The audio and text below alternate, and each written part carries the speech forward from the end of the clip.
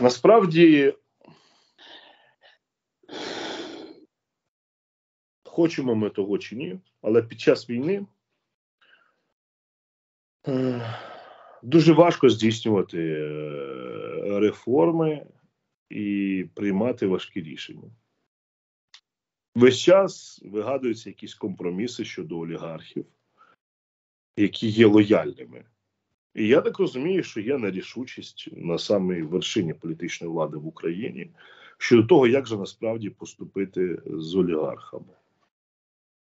І я не здивуюся, якщо виявиться, що частково Рінат Ахметов спонсорує діяльність самої партії Слуга народу. Тому що в нього була добра звичка спонсорувати навіть опозиційні до себе політичні сили для того, щоб дати можливість для перемовин, діалогу і лобіювання бізнес-інтересів.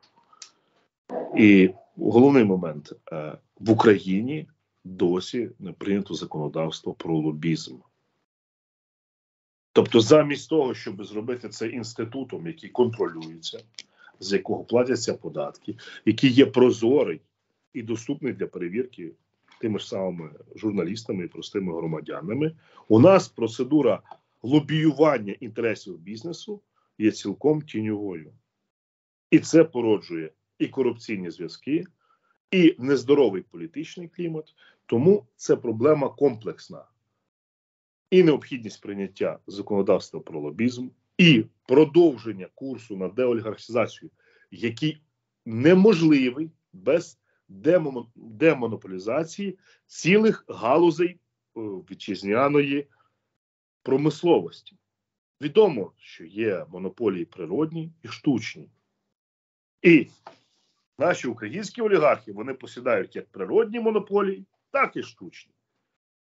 В той час як е, стає зрозумілим, що українське суспільство не може собі дозволити, тим більше в повоєнний період, а тим більше в воєнний, взагалі наявності е, такої ситуації.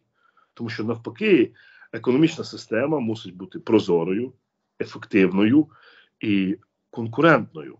А монополія це завжди про відсутність конкуренції, про можливість маніпуляції ресурсами. От ця, цей кейс, про який написав дзеркало тижня, якщо я не помиляюся, про е, викупівлю власне електроенергії. Дзеркало тижня, так. Е, фактично за безцінь. Вона говорить нам про що? Про те, що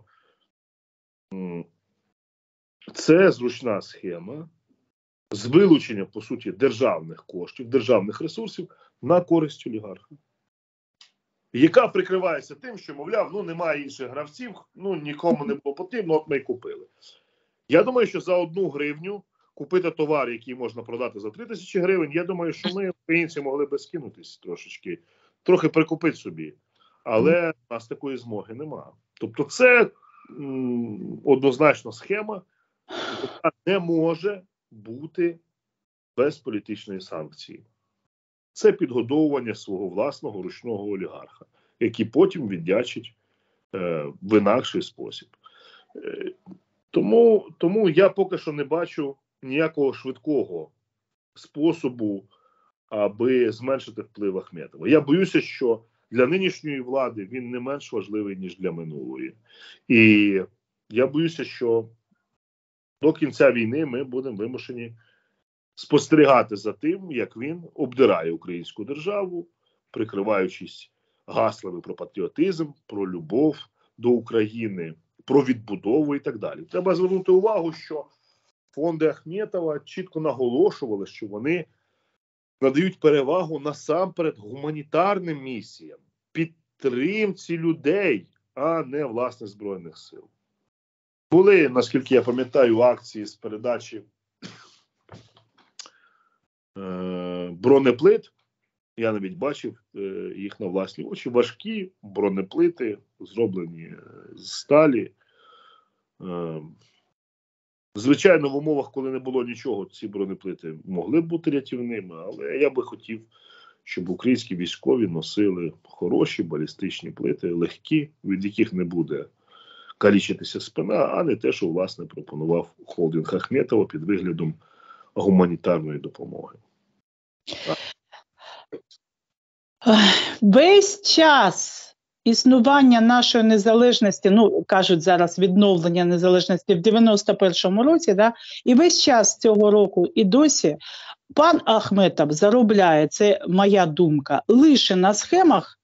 Е, Грабіжницьких схемах з держави жодної бізнес-ідеї, окрім створити схему та грабувати державу за допомогою монополії, наприклад, за допомогою політичної корупції, тобто призначення своїх людей на міністерські посади, заведення їх до Верховної Ради, задля того, щоб в подальшому грабувати за їх допомогою країну, жодних інших е, шляхів заробляння грошей в цієї найбагатшої української людини ніколи не було і досі немає.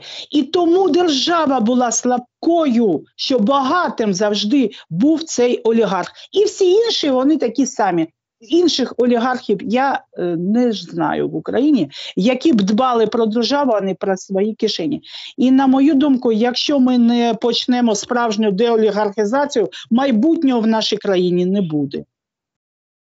Ну, поки ми живі, ми сподіваємось, це перше. А по-друге, для всіх цих процесів потрібні чесні парламентарі, які будуть голосувати за ці закони, будуть їх писати, і, звичайно, ті урядовці, які будуть виконувати ці законодавчі акти. Тобто, по суті, ми впираємося в ту нашу стару тему, про яку ми говоримо раз за разом. Без перезавантаження політичної системи, без приходу якісних людей, які не пов'язані з олігархічними колами, не пов'язані е, з фінансово-промисловими, а дуже часто фінансово-кримінальними групами, е, ніякого якісного переходу відбутися не може. І я сподіваюся дуже, що наша перемога не затьмарить нам голови, і ми допильнуємо ці моменти всі разом, розуміючи, що олігархи, в тому числі, були фактором послаблення нашого суспільства, послаблення нашої держави, і однозначно були однією з вагомих причин, чому Путін вважав, що на Україну варто напасти.